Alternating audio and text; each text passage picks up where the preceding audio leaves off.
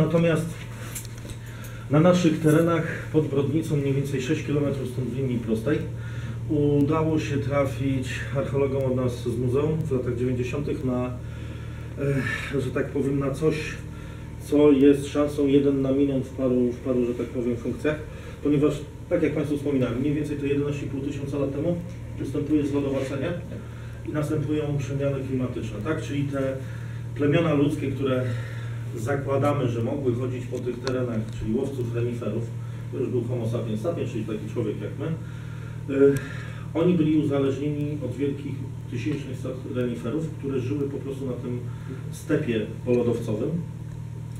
Ale mamy parę obozowisk, ale takich czasowych. Oni się przenosili punktu do punktu, szli po prostu za stadem. Stado się dzisiaj, dzisiaj było tu, jutro było 60 km dalej, oni szli za nim.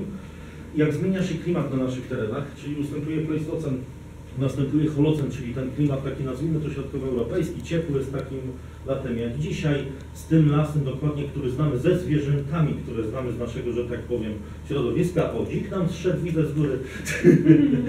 E, Ale dlaczego, to zaraz Państwu powiem, bo chyba nawet wiem, dlaczego kolega go znosił. E, na tych terenach pojawia się ludność środkowej epoki kamienia. Ludność mezolityczna, czyli ludność, która już jest nadal ludnością łowiecko-zbieracką, nie zna wytwórczości ceramiki, nie zna hodowli zwierząt, nie zna uprawy roślin, przynajmniej początkowo, ale wchodzi w taki klimat, jak my dzisiaj znamy, czyli masę jezior, lasy takie mieszane, jak dzisiaj widzimy i ta zwierzyna, którą widzimy do dnia dzisiejszego w naszych lasach, dodatkowo niedźwiedź i tu. Tak, no tu rasami wybiliśmy, niedźwiedź nas nie lubi, więc sobie, że tak powiem, podszedł. Natomiast ta ludność już jest takim szczytowym poziomem rozwoju ludności e, wytwórczości krzemieniarskiej.